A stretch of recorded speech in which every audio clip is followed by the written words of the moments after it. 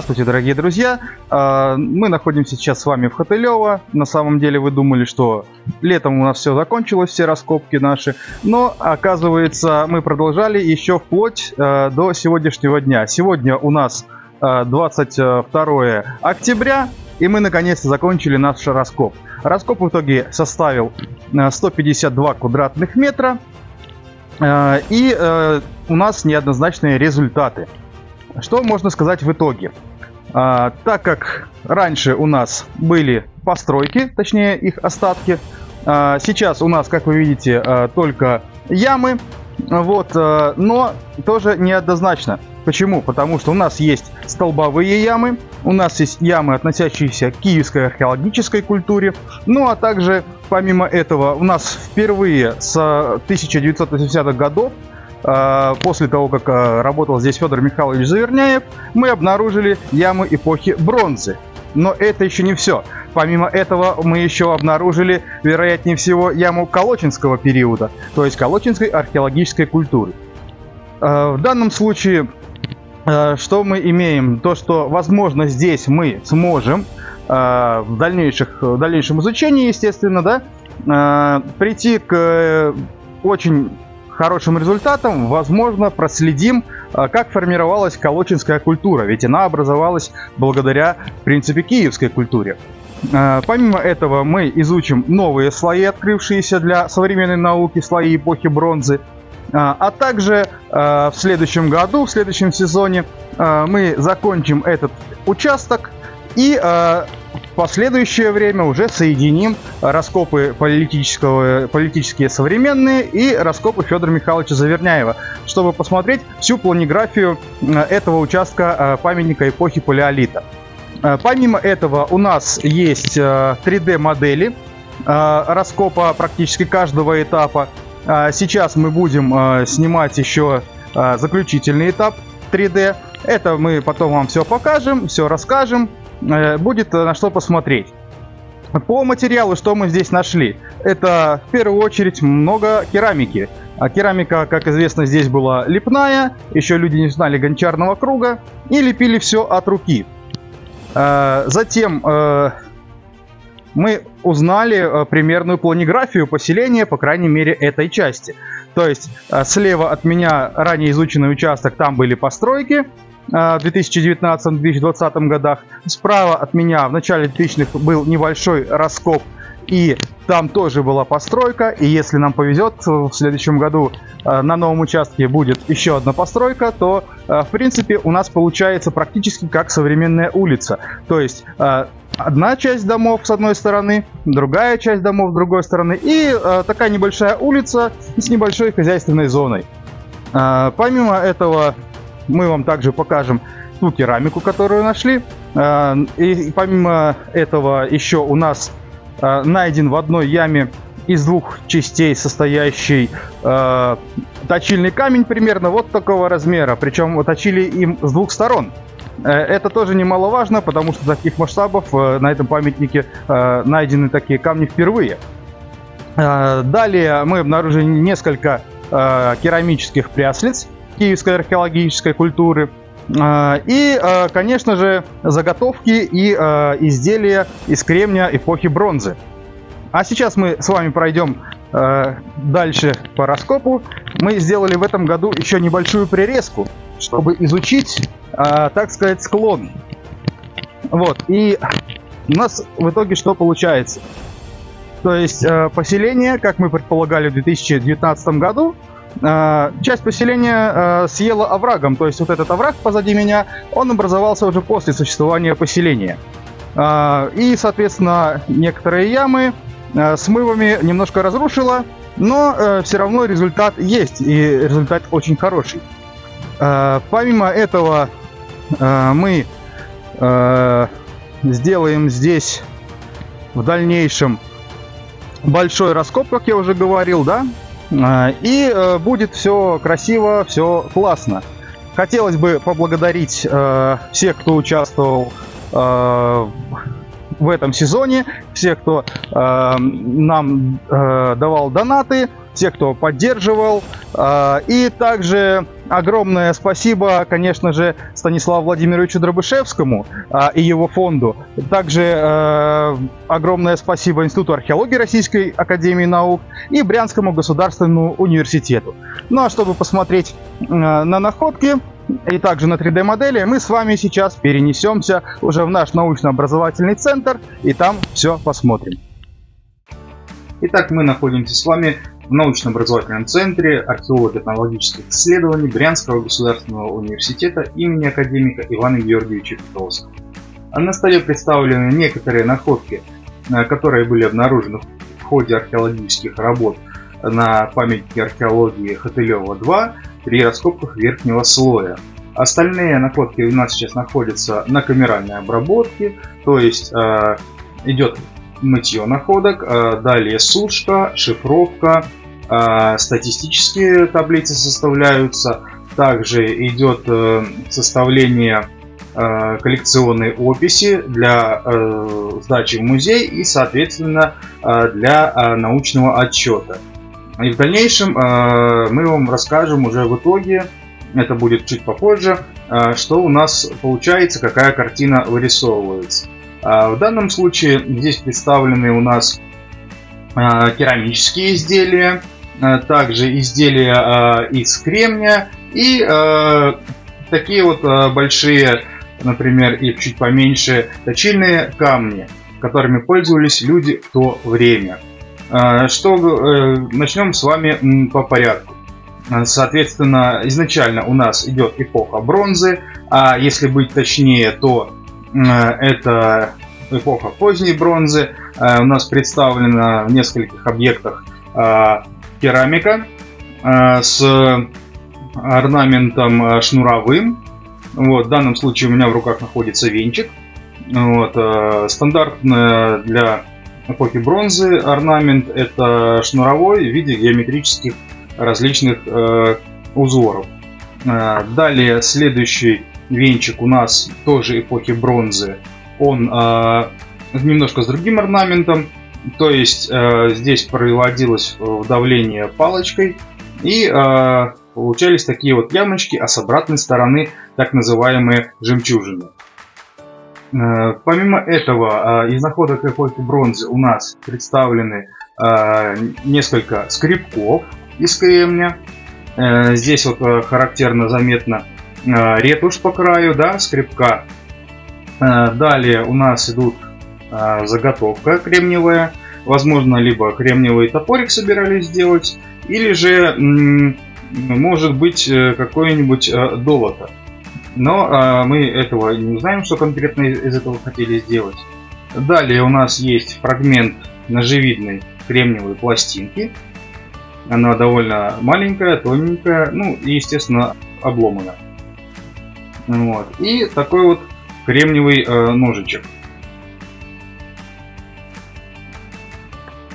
Следующим этапом, да, то есть следующим культурным слоем а, у нас идет слой киевской археологической культуры. Он представлен более масштабно, более обширно, а, и а, в нем у нас находится в первую очередь это керамика, которая в принципе большинство на памятниках этого периода. Вот. Но керамика бывает у нас разная. Но в любом случае она у нас лепная, то есть делалась от руки без использования гончарного круга. Например, вот это венчик да, керамического сосуда, Сосуд был достаточно, а, видимо, внушительных размеров. То есть, а, как минимум, это не кружка, это нормальный такой кувшин. А, далее представлены стенки. Вот также стенка лепного сосуда. То есть, если обратить внимание, они были толстостенные.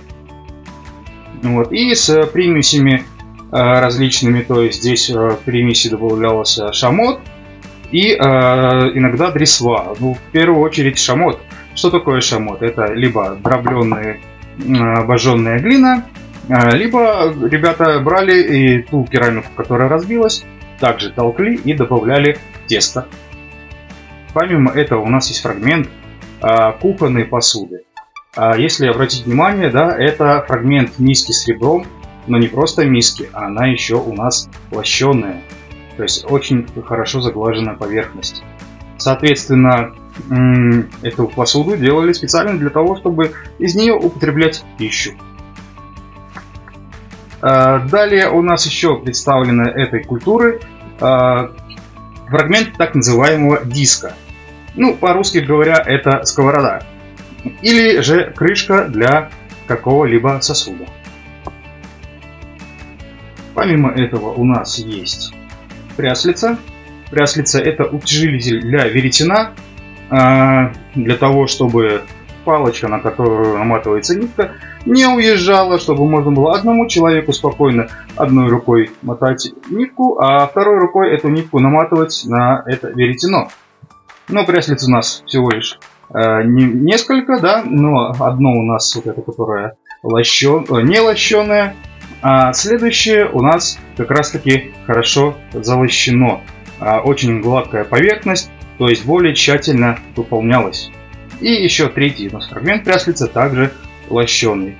Пряслица говорят нам о том, что здесь было развито качество, и э, в первую очередь э, такие находки э, располагаются у нас на памятнике э, неподалеку от жилых построек. А вот в 2019 году рядом с тем местом, где были найдены э, как минимум два из трех пряслиц, располагалась постройка, которую мы исследовали. И, соответственно, уже вот э, эти практицы, вероятнее всего, будут относиться именно к этому жилищу. Э, что говорить э, о точильных камнях? Да, вот эти два больших фрагмента, они были обнаружены в разных ямах, но как раз таки в той прирезке, о которой мы говорили, э, которая у нас на склоне оврага. То есть вот этот большой фрагмент, он остался в яме, в которой изначально был, а второй фрагмент а, просто немножко смыло в соседнюю яму, он находился на поверхности ямы, то есть не в слое заполнения. И а, между собой они вот так вот стыкуются. И вот такой огромный у нас точильный камень, причем точили им с двух сторон. Есть точильные камни и поменьше. Например, вот такой фрагмент точильного камня, да, он более такого овальной формы, и а, с одной стороны очень заглажен. То есть им тоже точили, может быть, какие-то ножи, например. И третий также точильный камень, а, также заглажен с одной стороны, но тоже фрагмент, он обломан. А, но это тоже значимо для археологии в целом этого периода. Помимо этого, как я уже и говорил, у нас есть одна яма, а, впервые на этом памятнике, а, вероятнее всего а, на данный момент колочинской культуры. То есть вот фрагмент вот этой стенки сосуда нам говорит, что возможно это колочинская яма. Потому что здесь есть налепной валик, вот если посмотреть, он выпирает. И он расположен на плечике сосуда, то есть на самом максимальном расширении Э, тела сосуда. Э, в киевской культуре они располагались э, ближе к венчику, то есть ближе к верху. Соответственно, вероятнее всего, это именно колоджинский период. Помимо этого, у нас, о чем я говорил, есть 3D модели раскопа, которые мы сейчас посмотрим вместе с вами. Практически на завершающем этапе Э, работ э, перед снятием промежуточных бровок, чтобы нам посмотреть стратиграфию, да, была сделана 3D э, раскопа еще без прирезки. И для чего это делается? Во-первых, мы можем здесь в любой точке посмотреть нужную нам высоту по Балтийской системе высот. Второе, это мы можем измерить глубину, ширину ям, собственно, любые измерения провести, которые нам нужны. Но помимо этого, э, так как раскоп э, у нас закапывается в любом случае после исследования участка, да, а, мы это сохраняем для того, чтобы не откапывать заново эти объекты, а еще раз можем посмотреть, а, как они выглядели в 3D. Соответственно, мы можем так покрутить абсолютно любую яму посмотреть ее контуры, посмотреть, э, э, как она была выкопана.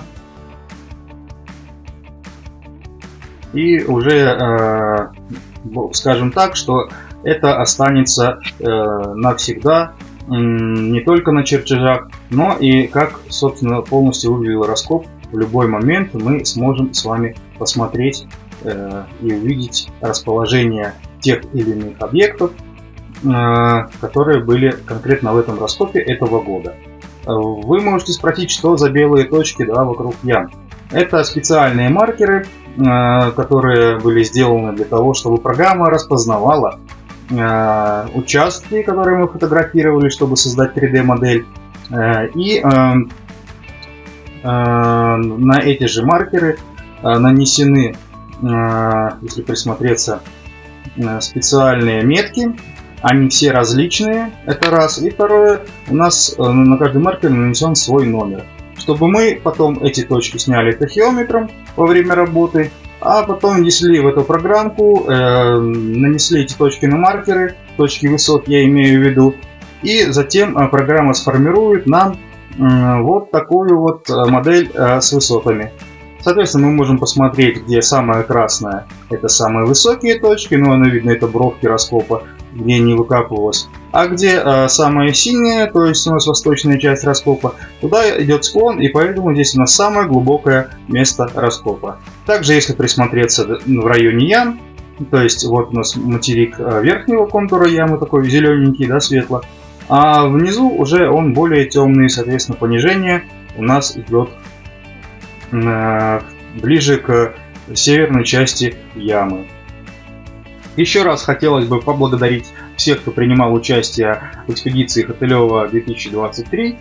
Э, всем э, спасибо, кто смог приехать. Огромное спасибо также всем, кто не смог приехать, но поддерживал нас. Огромное спасибо э, коллегам. Огромное спасибо всем, кто участвовал в этом году в раскопках. До новых встреч!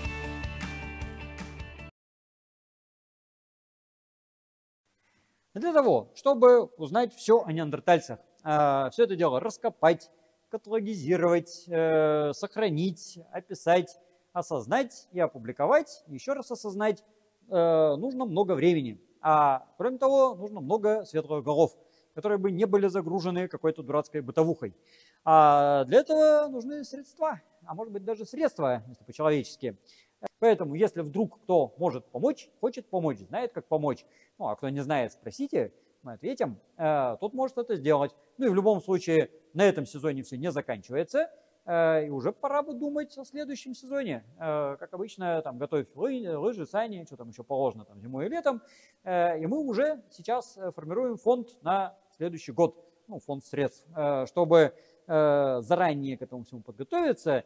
Поэтому помощь крайне приветствуется. Помогайте нам. А помогая, помогаете-то не нам, а вы помогаете будущим поколениям. Потому что нашими руками, ну, вот мы едим гречку, а создаем историю. Э, это, по-моему, выгодный таки размен.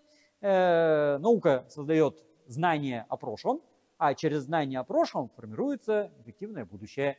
Мы знаем, ну, узнаем, вернее, почему неандертальцы сдохли, и, может быть, это позволит нам не отправиться туда же. И, может быть, потом нас будут изучать не как ископаемый тупиковый вымерший вид, а как предков, э, что очень как бы хочется.